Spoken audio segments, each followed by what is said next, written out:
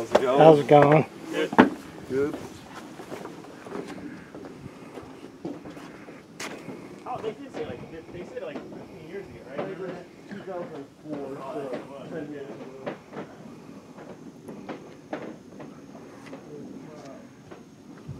I think that would have been it. Uh, that was like an arsenal.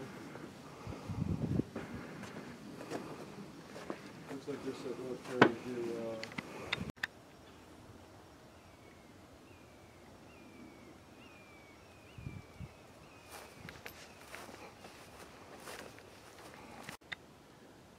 There's some thistle, and that makes a good fire starter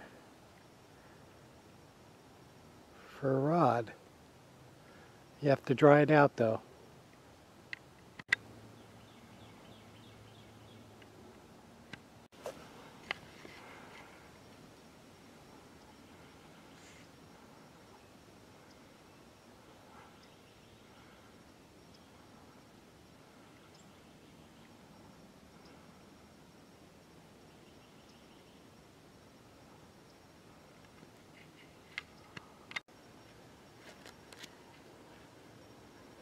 This one frond, relief, is swinging back and forth, and nothing else in the area is blowing. There's no big breeze or anything. It's weird. It's like it's dancing. A little trick to keep the backpack off the ground. Just throw a little piece of cord, a couple carabiners right over the straps and it makes it at a height that you can work on it without having to bend over or having it near the ground. Hey!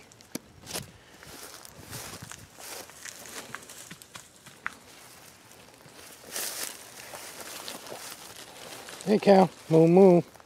Mm.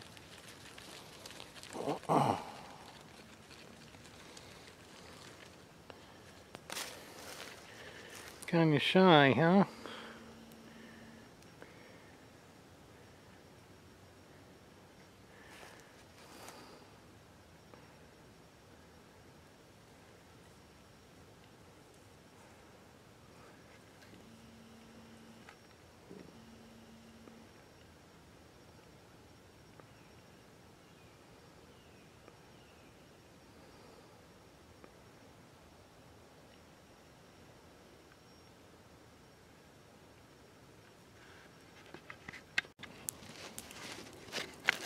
Well, it's 6 a.m.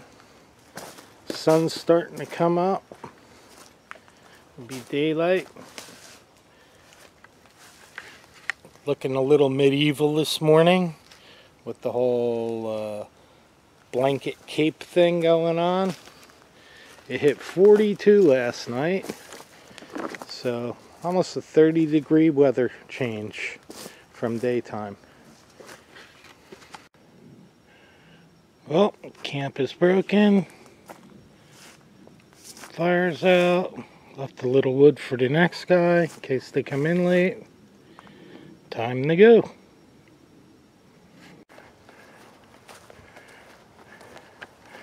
Well, that's it. Back to the beginning. And that was CREW. see if we can find the map. I'll show you what we did. Okay. We came from over here, down along the hammock trail, down to where the primitive campsite is. It's off the map for some reason. They saw fit not to put their own campsite on their map. And then we came back the next day, up this way, to here, to there, then back to the observation deck and then to the trailhead. Okay, that's my hike at CREW. It's a nice place. Um, a lot of different short trails. Good practice area. Um, lots of nature, especially if you're solo hiking. Also gives you the opportunity to stay overnight at one of the primitive campsites. there's no amenities and uh, no water. But uh, one thing that you did get that you usually don't get in a primitive campsite is a picnic table, which is really great to fold stuff up on and keep it clean. So anyway, we'll be seeing you on our next hike. Please subscribe and like.